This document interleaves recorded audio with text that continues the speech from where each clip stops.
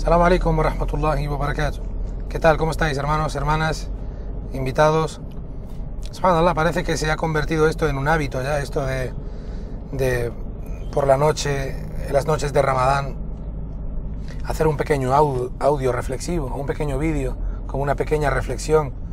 Y es que sinceramente reflexionamos mucho, pensamos mucho. Yo soy una persona a la que le gusta apuntar los tipos de fawaid y algún día, si se puede, pues compartirlo con, con los hermanos y con las hermanas o con las personas que lo creen, que lo crean beneficioso. Hoy estaba pensando en algo que tiene que ver con la realidad actual, pero que también me ha hecho volver atrás en el pasado, a un momento, a un momento mágico en mi vida. La primera vez que hice la Umrah, la primera vez que Allah subhanahu wa ta'ala me invitó a, su casa y que, que fui un, invitado de Allah subhanahu wa ta'ala, como dice el hadith, recuerdo que fui con, con el hermano Isa García y con, eh, con mi querido amigo y hermano Aziz de Melilla, Adi, Jazahullah Jaira. Fue la primera vez que hicimos la Umrah y fue un viaje inolvidable. Observé algo alrededor de la Kaaba cuando estábamos haciendo Tawaf. Isa García nos decía, vamos a, vamos a acercarnos a, la Kaaba, va a ser muy difícil tocar a Hajar al-Aswad, la piedra negra, pero por lo menos vamos a tocar la pared. Él nos llevó, mashallah, pudimos tocarla y estuvimos... Eh, subhanallah, con, intentando conectar con Allah subhanahu wa ta'ala sin buscar ningún tipo de, de bendición, haciendo tabarruk con, con, con, la cava, porque sabemos que no está permitido. Pero era ese momento de poner la mano en la cava, subhanallah, y, y acercar, intentar acercarte a Allah subhanahu wa ta'ala. A mi lado, subhanallah, y esto es lo que, quiero, lo que quiero comentar, a mi lado había una mujer, era una mujer que por su aspecto era de Bangladesh o de la India, algo así. Y, y, estaba con su hijo. Y observé, subhanallah, y por esto estaba reflexionando, observé que ella tocaba la cava con su mano y se la pasaba a su hijo por la cara. Tocaba la cava con su mano, con las dos, y la pasaba a su hijo eh, por su cara. Y hacía dua. Allah subhanahu wa ta'ala, alhamdulillah, hacía dua, Allah jalla fi'ula. Subhanallah, cuando miré al hijo, observé que tenía toda la cara quemada. Toda su cara estaba quemada, subhanallah. No sé, no sé si era de nacimiento o si un incendio o le cayó algún líquido muy, muy caliente, pero toda su cara estaba eh, desfigurada y quemada, subhanallah. Y la madre le pasaba la mano por la cara buscando la cura, buscando shifa, buscando, haciendo tabarruk. Es un tipo de tabarruk que no está permitido, no está legislado está prohibido, porque la cava en sí, la forma material de la cava no, no, te aporta bendiciones. El hecho de rezar en esa, en esa mezquita y, estar ahí y hacerte reflexionar, estar cerca de Allah, toda esa forma o esa cuestión más metafísica, por así decirlo, te acerca a Allah subhanahu wa ta'ala. Pero esto se estudia en Akida. Es una forma de tabarruk, tabarruk viene de palabra baraka, no se puede buscar baraka de Allah o la cura tocando la cava. Lo que quiero decir es lo siguiente. Esa madre, esa madre estaba buscando de forma desesperada, si le sumas a la desesperación, le sumas también la ignorancia, es un cóctel explosivo, subhanallah. Estaba buscando la forma de curar a su hijo. Esa mujer lo único que quería era curar a su amado hijo. Esa mujer sufría, seguro, estoy convencido de que sufría cuando veía a su hijo llorar por el aspecto de su cara me imagino el rechazo, el rechazo social que ese chico tendrá que sufrir en su cultura de la India o de Bangladesh. Me imagino el bullying que habrá sufrido en el colegio ese niño. Y me imagino a esa madre llorando por las noches pidiéndole a Allah que cure a su hijo, sufriendo con su hijo, probablemente, probablemente sufriendo más que su propio hijo, esa madre. Probablemente yo veía una mujer muy humilde. Digo que dejemos de lado ese, ese, ese acto prohibido que estaba haciendo. Lo tenemos claro. Vamos a centrarnos, inshallah, en la esencia de la intención de la madre. Yo creo que esa madre sufría más que su hijo. De verdad que me quedé ahí mirando, observando, y pasé como el resto de la noche pensando en ese momento. Y en ese momento tuve un flash y, pensé en mi madre. Y, empecé a hacer dua por mi madre. Empecé a agradecer a mi madre todo lo que había hecho. Empecé a recordar el sufrimiento de mi madre, que crió a siete hijos. Empecé a hacer dua para que Allah recompensara a mi madre y a mi padre, rahimahullah, solo por el acto de esa mujer. Eran como, como flashes que venían de forma continua por todo el jair que mi madre hizo. Entonces volví a pensar, es imposible, es imposible que una persona le devuelva a su madre, más que a su padre, a su madre, todo lo que ha hecho por él. Ese sufrimiento, el dolor del parto, la angustia, el embarazo, el amamantamiento, todos esos momentos en los que apenas podía moverse, no se valía por sí misma, todos esos momentos en los que tenía que levantarse de madrugada porque tú eras un bebé y estabas muerto de hambre, querías comer y ella tenía que levantar, sacrificar su sueño, su cansancio, su salud, su todo. ¿Para qué? Para que tú estés bien. Cuando tu madre tenía que salir de madrugada con tu padre a urgencias porque te habías puesto malo, sacrificar su cansancio, su salud, su juventud, su dinero, todo por ti su tiempo libre, cuando tu madre tenía que salir a la calle, a ir a la tienda del vecino a pedir de fiado, porque no había dinero en tu casa, pero tú necesitabas leche, pañales, galletas, papilla, medicamentos, etcétera, etcétera, ropa para el cole, zapatos nuevos, los libros del cole, y a tu madre le daba absolutamente igual pasar esa vergüenza, llorarle al vecino o al de la tienda o al de la librería o a quien sea, llorarle cogerle y, pedirle por favor que le dé fiado hasta que pueda. Le daba igual con tal de que tú puedas tener todas esas necesidades cubiertas. Volví a pensar en esa mujer en la cava, llorando y pidiéndole a su Señor que cure a su hijo. Para ella lo único que importaba en este mundo era su hijo.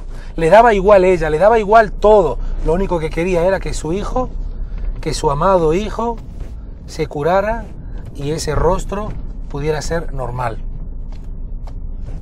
¿Por qué digo todo esto?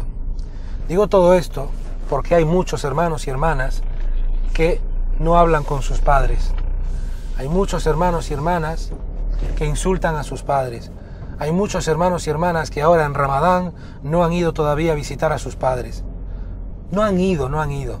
Los conozco personalmente. ¿Por qué?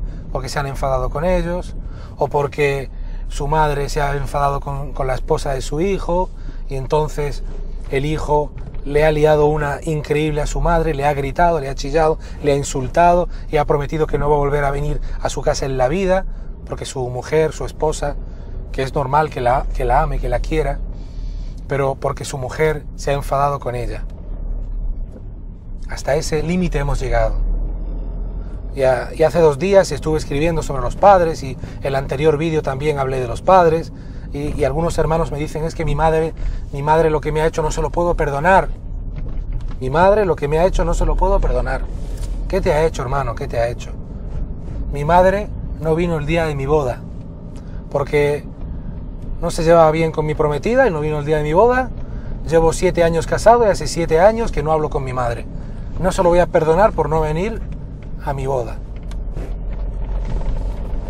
Otro dice que no habla con su padre. ¿Por qué? Porque le pidió dinero para montar un negocio y el padre le dijo que no estaba bien económicamente. Él dice que sí, que le sobraba dinero y el padre le dijo que no te lo puedo dar todo lo que me pides. Por favor, espérate. Se enfadó con su padre y lleva cuatro o cinco años sin hablar con su padre. Y le ve por la calle y no le saluda. No va a decirle, ya Abi, salam y no, ¿cómo estás? Nada. Y viene a la cafetería que está junto a la mezquita, el padre va a acercarse a su hijo y él se levanta corriendo y se va. Y la hija va hablando pestes de su madre por ahí diciendo que su madre es una víbora, que su madre es una serpiente. ¿Por qué? Porque no sé qué rollo hubo de, una herencia y, a ella le tocó menos dinero, no sé, no sé. ni tampoco me importa. Pero lleva años sin saludar ni hablar con su madre, porque su madre es una víbora y una serpiente, su propia madre. Pues esta es la situación que tenemos. Se han olvidado por completo de todo lo que sufrieron sus padres y sus madres. ¿sí? El imam, el imam al-Bukhari, en su libro Al, al, eh, al-Adab al-Mufrad, menciona un hadith eh, que es auténtico, está autentificado por Sheikh al-Albani, en el que Abdullah ibn Omar estaba haciendo el Hajj y observó a un hombre que venía con una mujer anciana montada, caballito a su espalda, y estaba haciendo tawaf, estaba haciendo tawaf con su madre a espaldas. Y Abdullah ibn Omar le sorprendió, el hijo de Omar ibn al-Khattab, le sorprendió, subhanallah, y se quedaba mirando desde una colina. Y era un gran sahabi, y muchos de los peregrinos hablaban, está el hijo de Al-Faruq, está con nosotros, radiallahu anhu. Y este hombre fue a hablar con Abdullah ibn Omar, radiallahu anhu, que era un amante de la sunna, era un gran sahabi y era uno de los grandes ulama, y le dijo, oh hijo de Al-Khattab, he venido andando desde mi, desde mi ciudad o mi país hasta, hasta aquí con mi madre a espaldas y he hecho los, las siete circunvalaciones a la Kaaba con mi madre a espaldas y los demás ibadat que nos quedan todavía del el Hajj. Le he devuelto el Jair que ella me ha hecho a mí desde que nací, le he devuelto el Jair. ¿Sabéis lo que le respondió Abdullah ibn Omar? Juro por aquel que envió a Muhammad, es decir, salam, juro por Allah subhanahu wa ta'ala que no le has devuelto ni siquiera una sola contracción que tu madre tuvo cuando estaba embarazada de ti. ¿Sí? Ese es, esos momentos en los que tiene una respiración un poco así eh, repetida, ese golpecito, esa patadita que le da el bebé dentro de la barriga de su mamá, esa contracción, no le has devuelto ni ese golpe, ni ese, ni ese suspiro que hizo, ni eso le has devuelto. ¿Cómo le vas a devolver todo lo que ha hecho? Pues sí, pues sí, pues sí. Pues, subhanallah, aquí tenéis a hombres y mujeres que no hablan con sus padres en Ramadán, en Ramadán. El otro día, subhanallah, yo no soy nadie especial, en absoluto. Soy el, el que más necesita rectificar de, del mundo entero. Solamente hablo de mí en primera persona porque soy la persona que mejor conozco, creo yo. Y el otro día estaba ayunando, estaba rompiendo el ayuno con mi amada madre, Hafid Allah Ta'ala, y la, y la miraba, la miraba como mi madre me servía harira a la sopa y como mi madre ponía, subhanallah, en la mesa un plato de comida y charlábamos mientras comíamos. Y no, no, pude, no pude evitar tener flashes y recordar cuando era pequeñito y mi madre me daba de comer y cuando, subhanallah, allí, increíble, allí, allí, cómo una persona puede ser tan malvada y cómo una persona puede llegar hasta estos límites. No lo entiendo, muy bien que no lo entiendo. Pero claro, Luego te encuentras otro hadith que está en Bukhari o Muslim, donde, donde el profeta Ali Salam dijo algo maravilloso. Para ya elevar esto a la máxima potencia. Hemos entendido la rahma de una madre, la misericordia de una madre, ¿sí? Pues hadith este, está en Bukhari o Muslim, menciona que en una ocasión, en una expedición militar, el profeta Ali Salam eh, observó que una mujer había perdido a su bebé había perdido su bebé. Entonces el Nabi alayhi salatu salam mandó a todos los sahaba que buscaran al bebé. Y todos empezaron a buscar, a buscar, a buscar, hasta que lo encontraron. Vino un sahabi con el bebé. Y entonces la madre cuando lo vio, llorando, desesperada, empezó a dar gracias a Allah, a abrazar a su bebé, a besarlo, a besarlo por todo el cuerpo sin, sin dejar de, ni un centímetro de su cuerpo sin besar. Dice el hadith que eh, eh, el profeta salam le sorprendió tanto, le impactó tanto, subhanallah, que se dirigió a sus compañeros y les dijo, ¿pensáis vosotros, pensáis vosotros que esa madre arrojaría a su bebé al fuego del infierno? ¿Pensáis que podría ser esto? Dijeron, ya Rasulallah, ¿quién va a tener más rahma de ese bebé que su madre? Es imposible ya, Rasulallah. Y dijo el mensajero de Allah, pues ciertamente os digo que Allah subhanahu wa ta'ala es más misericordioso con sus siervos que esa madre es con su hijo. Allí, Allah es más misericordioso con sus siervos que lo que podéis imaginar y lo que podéis ver que es esa madre, las muestras de afecto, amor y misericordia que está teniendo esa madre con ese bebé. ¿Por qué digo esto? Porque hay personas que me han escrito también estos días que llevamos hablando de padres y madres y me han dicho, hermano Malik, agradezco mucho todo lo que estás diciendo sobre los padres, es la realidad, es nuestro din, pero hermano Melik, mi madre me abandonó cuando yo era un bebé, me abandonó, me tiró. Yo conocí a mi madre con 30 años, cuando vino a decirme que era mi verdadera madre. Otro me dice que su madre eh, eh, la dejó de pequeñita en un, en un asilo de niñas pequeñas en su país y ella se marchó con, con un novio o algo así porque estaba divorciada y la abandonó. Otra me dice que desde, desde que me casé, mi madre no aceptó a mi esposo y desde ese momento no me habla, es ella la que no me habla a mí. Entonces ya es, es la vuelta a la tortilla, ¿sí? Yo os voy a decir una cosa. Nadie, nadie se puede poner en vuestro pellejo, nadie, porque nadie que haya pasado por lo que habéis pasado vosotros puede daros ni un consejo, no os puede decir ni mu. Nadie puede empatizar y, la teoría ya sabemos cómo es. Porque eso que habéis pasado vosotros es muy duro, durísimo. Y sé que hay madres y madres. Y sé que hay padres y padres. Eso lo tengo clarísimo.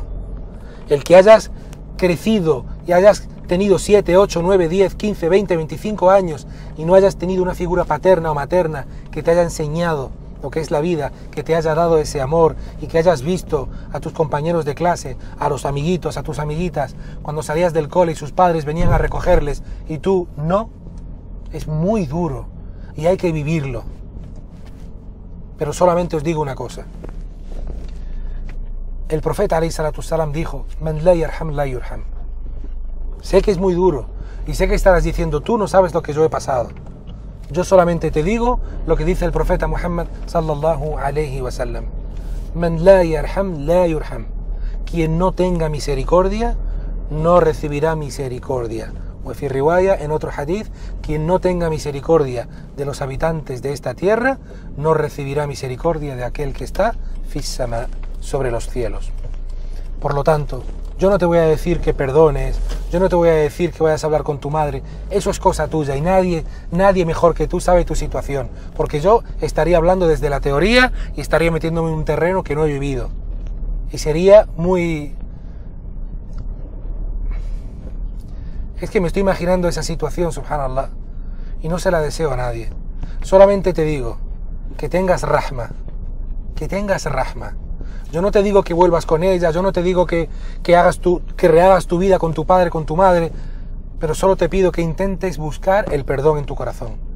Intenta perdonar. ¿Para qué te digo esto? Porque si tú no perdonas y Shaitán te vence, Iblis te convence de que te mueras sin perdonar a tu padre y a tu madre por lo que te han hecho, ¿cómo esperas que Allah te perdone el día de Yom Qiyamah? Si el profeta salam dijo que nadie entrará al Jannah, nadie entrará al Jannah si no es por la rahma de Allah subhanahu wa ta'ala. Aunque hayas estado toda tu vida postrado en el suelo o postrada, rezando a Allah y pidiendo a Allah que te perdone, toda tu vida sin comer, sin beber, sin dormir, imagínate, aún así no te habrás ganado el Jannah si no es por la rahma de Allah. Y le dijeron, oh mensajero de Allah, ¿y tú? Y dijo, ¿y yo? Perdón, y yo tampoco, el mensajero de Allah. Por lo tanto os digo, si no perdonas, ¿cómo esperas que Allah te perdone? Busca el perdón, intenta perdonar. El resto es cosa tuya y ahí no me meto yo ni nadie, pero es importante que busques el perdón. Tú, hermano y hermana, que tus padres os abandonaron y llevan años, años, años desaparecidos, es una cuestión muy difícil. Pero tú, hermano y hermana, que llevas meses sin hablar con tu padre y tu hermana, tu padre y tu madre, perdón, por una, por una trifulca, por un pequeño problema, por una discusión que hayáis tenido, porque se haya peleado con tu esposa, porque se haya peleado con tu esposo, tú deberías temer a Allah subhanahu wa ta'ala. Tú, hermano y hermana, deberías temer a Allah subhanahu wa ta'ala, porque ¿sabes qué te digo? Puede ser que ese el walidain que estés haciendo, ese maltrato, ese derecho que no le estés dando a tu padre y a tu madre, puede que sea el motivo por el que Allah no acepte el ayuno de Ramadán, por el que Allah no acepte las ibadat que estás haciendo. Allah, Allah subhanahu wa ta'ala lo deja claro, dice en el Corán. Ciertamente Allah solamente acepta los ibadat, los actos de adoración de los temerosos de los temerosos, de los que tienen conciencia de Allah subhanahu wa ta'ala. Y si tú maltratas a tu padre, a tu madre y no les das sus derechos, ¿crees que eres de los mutajin? Hermano y hermana, con mi corazón en mi mano te digo, vence a Shaitán, vete a hablar con tu madre, con tu padre, inténtalo, aunque te rechace, inténtalo, y así sales por la puerta grande. Vete, inshallah, dile que les quieres, pídeles perdón e intenta hacer las paces con ellos, porque son tus padres son tus padres. Ese es el consejo que os quiero dar hoy y pido a Allah subhanahu wa ta'ala que, que hablan de nuestros corazones. Amén, amén, ya. Salam alaikum wa rahmatullah.